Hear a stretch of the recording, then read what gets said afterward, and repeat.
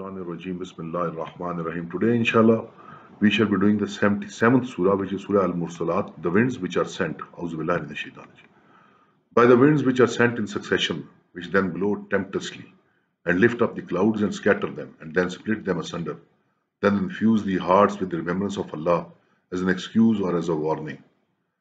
That which you are being promised must happen. Then when the stars become dim and the heaven is rent asunder, and the mountains are thrashed into dust, and the time of the messenger's appointment comes, that day it shall happen.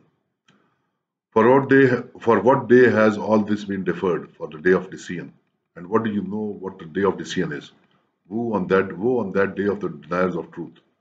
Did we not destroy the formal people?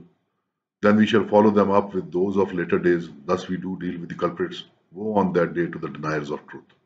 Did we not create you out of a mean fluid? And kept it lodged in a secure place for an appointed term, behold, we had power to do this, as we are excellent possessors of power. Woe on that day to the deniers of truth.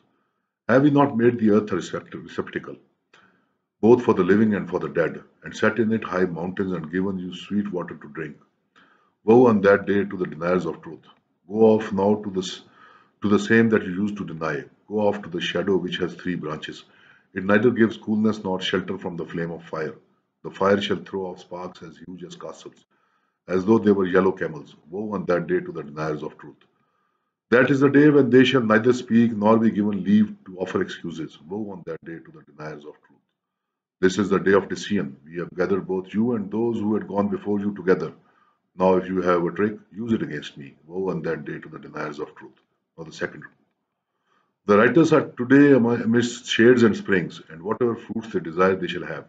Eat and drink with relish as a reward for the deeds you have been doing. Thus do we recompense the doers of good.